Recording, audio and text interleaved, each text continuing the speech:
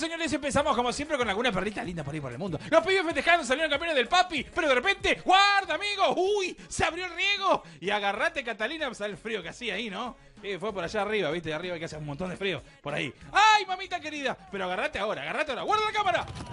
¡Uh! ¡Qué golpazo se pegaron! ¡Por favor, en Chile! El jugador se llevó lo peor, pero el cameraman, ¡ay! ¡Ay, te quiero ver! ¡Atención! Porque estamos en cancha de arriba y de repente borré, borré. ¡Ay, colombiano, qué pasó! ¿A dónde la mandaste?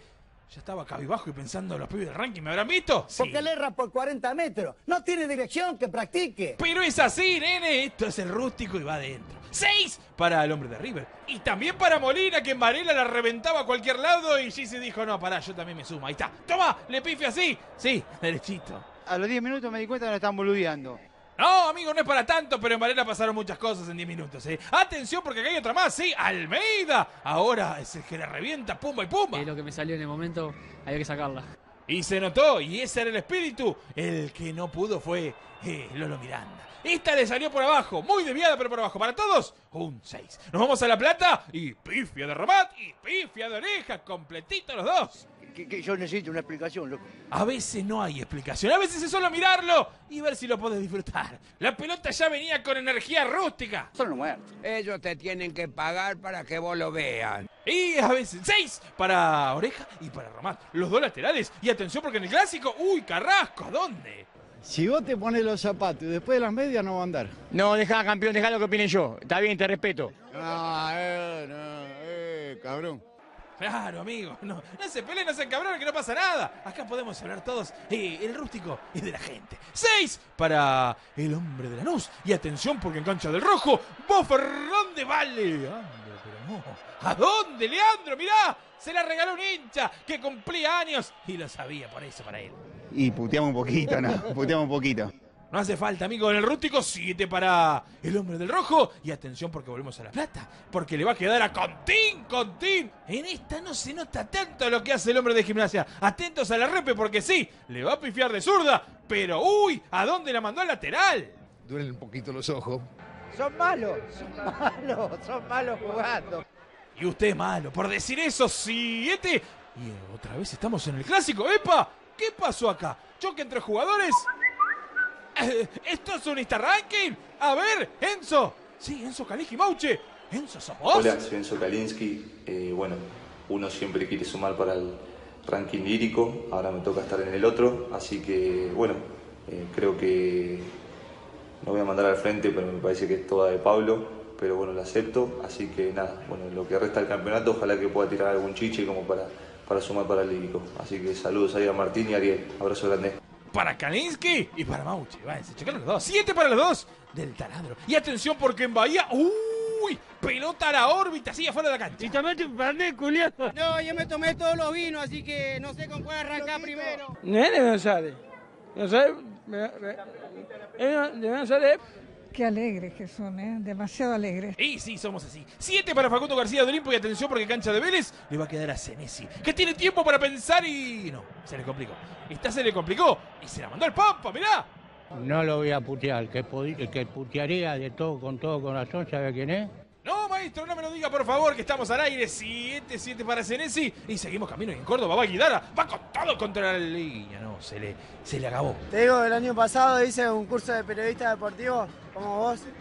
Mirá, no me, no me interesa nada. Se nota, amigo, se notó. Y ahí está Tomás Guidara, que iba por la raya y se terminó. No, ¿y qué va a hacer? Es así. Siete para el hombre de Belgrano. Y volvemos a La Plata. A ver a quién. A Leandro Díaz. Salite solo para el gol. No, no, Leandro. ¿Qué pasó? En esta zafó. ¿Por qué? Porque le levantaron la banderita. Dijeron que era offside, pero, pero agárrate porque hay más. ¿Cuántos técnicos pasaron? Y estos muertos siguen igual.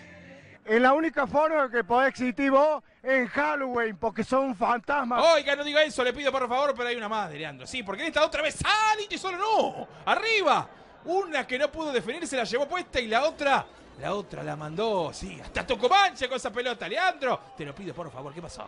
¡Sos un delincuente! Son buenos jugadores, buenos muchachos, buenos de ju- la juventud, pero no puede estar con la delincuencia.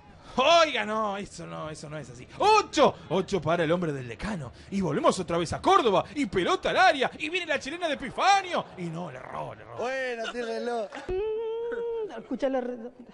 Sí, claro que sí, así fue. Mm, Porque quiso ser la de Cristiano y no le salió ni parecida. Pero hay otro más, que quiso emular al hombre del Madrid. Sí, porque centro al área para Temperley y va Brandán y Brandán, uh, para quedó regulando en el aire. No, nunca, nunca encontró pelota. No se calientan para nada. Aparte, la concha de tu madre!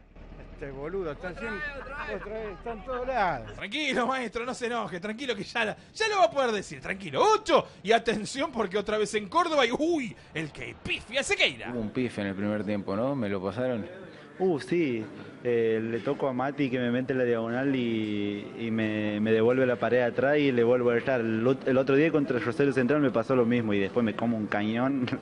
Esta vez fue solo pifia, pero alcanzó para estar en el rústico. Así le erraba el hombre de Belgrano para sumar el 8. Y atención porque volvemos a Varela. Sí, uy, el que erró fue el Coqui. ¡Coqui! Vos decís, la agarro acá y la empalmo a los Zinedine Zidane con- en, en la final de la Champions y no, no, no salió, no salió así, salió como otro jugador que no, no vamos a nombrar. Olvídate que se puso colorado el Cookie con esta pifia. ¿Qué siente el jugador en ese momento que le pifia? Imagina una vergüenza tremenda, no, no me vio nadie, quiero arreglarla rápido. Fru- Frustración y vergüenza un poco, ¿no? Porque ya, y aparte se te viene a la cabeza un poco esto del, del rústico y demás cosas. Pero... Juega en la cabeza de los jugadores. Un poquito después cuando agarrás. 8 para el. Sí, el hombre, qué figura de Varela, pero bueno, también puede, puede sumar para el rústico. Y hablando de rústico, ¡ay, mamá! Lo que se pierde Otero abajo del arco, pero ¿qué le pasó? La frenó cuando parecía. Sí, que todo estaba dado para empujarla de zurda. ¡Ay, qué pasó! Cuatro perros que no juegan a nada. Y tiene un poquito de mala suerte. Erra muchos goles. Y no sé si están así, pero atentos a esta de Milano. ¿Qué dicen ustedes? ¿Es gol o no es gol? Entra. ¿Qué, qué crees que te.? que- Me tenés que decir si es gol o no es gol, maestro, eso te estoy diciendo. Pero no, claro, si está en el rústico no fue gol. La tiró afuera Milano en otra rústica tremenda de estudiantes. Los del pinche anduvieron flojitos en la definición. Recién para que pare. Y paró.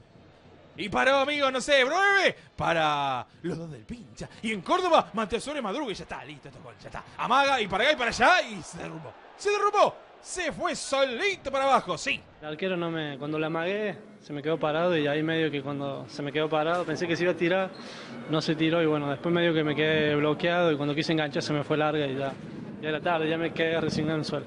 Para que vean que no son los defensores, nomás los rústicos.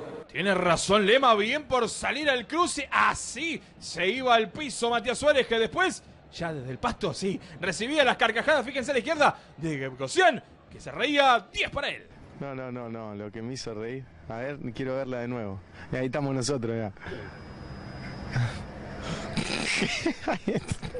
Grillo se mata de risa. ¿Qué pasó en el partido de Vélez? ¿Va Poroto Cubero? No, solito. No tenía nadie cerca, Poroto, pero ¿qué pasó? ¿Pasó un fantasma y lo empujó?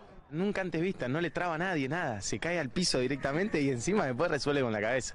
El gran Poroto que supo ser gran valor del rústico vuelve fuerte con una jugada excepcional. En el momento se la quisimos bancar, muy buena, Fabi, dale, dale, dale, pero después nos empezamos y a- Alan Aguerre soltó la carcajada y nos moríamos todos. Ya no era un momento para reírse, ¿viste?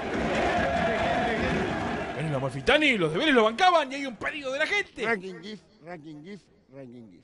Pero claro, amigo, este es Ranking GIF de acá a la China. Ahí está, la caída de Poroto que se ganó la mejor jugada de la fecha. Por eso el 10 para el gran capitán de Vélez, 39 puntos para Coquito Rodríguez de Chaca que sigue puntero. Jaymar 34 ahí cerquita, 31 para Sandoval de Argentinos, 30 para Huita Fernández de defensa, 27 para Sarabia y casi lo erran, ¿eh?